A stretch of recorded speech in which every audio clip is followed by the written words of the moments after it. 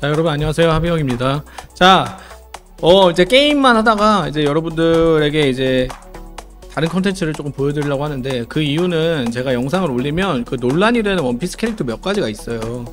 뭐 1번이 이제 사보 2번이 쿠마 그리고 3번이 이제 미호크 이제 되겠는데 어 여러분들이 일단은 여기에 댓글을 쓰려면 좀 이제 자격 조건이 있어요.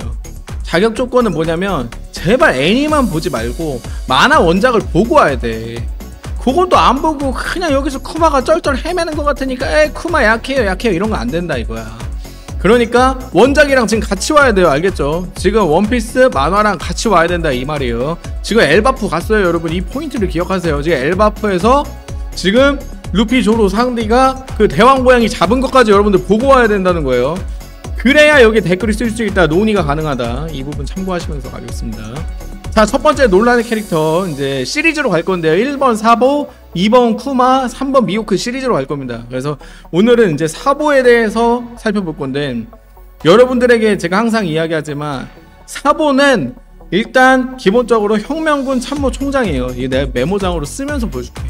자 일단 사보의 포지션 먼저 봅시다. 자 사보는 일단은 혁명군 참모 총장이다. 그러면 혁명군 2인자고 드래곤 밤이다. 그리고 일단은 무장색 패기는 달인이다. 패기가 있고 뭐 견문색은 모르겠고 회왕색은 없다. 자 지금 이렇게 확인이 되죠. 그리고 열매는 이글이글 열매 먹, 먹었다. 그리고 무장색 패기로만 바제스를 제압한다. 오? 사보 견문색 있어요? 견문색이 있다고 함. 응, 맞아 못 살아. 그래서 무장색인 거의 달인이에요. 맞아요. 그래서 그 용의 발톱인가요? 요거 보면은 딱 느낌이 오잖아요. 그걸로 혁명군 2인자까지 간 거예요. 이글이글 열매 이제는 손에 익었다. 그래서 지금은 염제사보라고 불린다. 불린다. 자, 그럼 여기서 봐야 돼요. 사보가 그러면 어느 정도 급이 되냐? 이제 우리의 항상 이 문제는 이거잖아. 일단은 사보가 사보가 바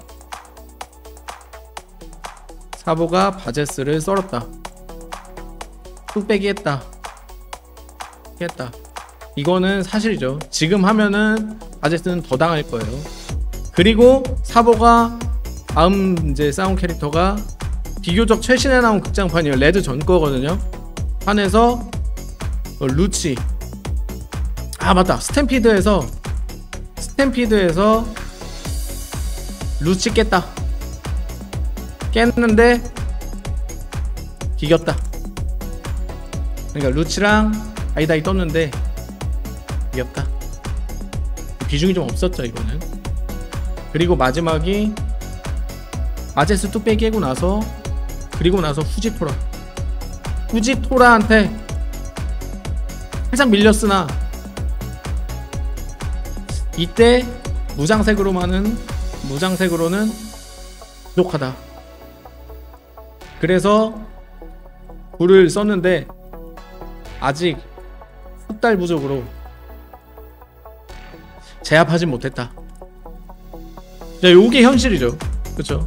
자 염제사보 현재 상태.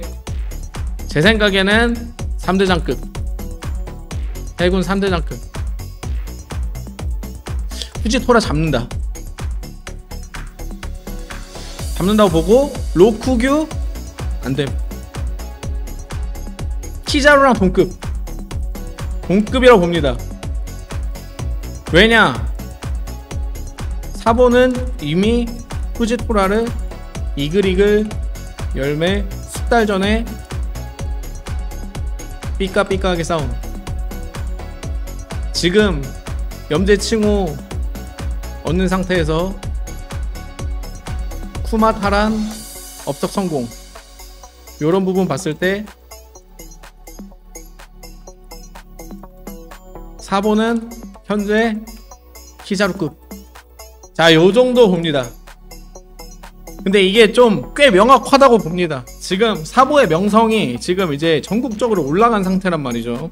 그리고 사보의 업적을 여러분들 이렇게 보시면 이제는 이글이글 열매가 이제 손에 완벽하게 익었기 때문에 능숙한 사용이 가능할 거란 말이에요. 그래서 어쨌든 전성기 에이스를 훨씬 능가하는 사보일 거예요. 그렇기 때문에 제가 봤을 때는 3대장에서 키자루랑 비빌 수 있는 정도 될 거다. 근데 아카이누랑 그 쿠잔한테는 안 된다. 어, 요렇게는 안 돼요. 그러니까 요거를 굳이 이렇게 좀 비교를 해보자면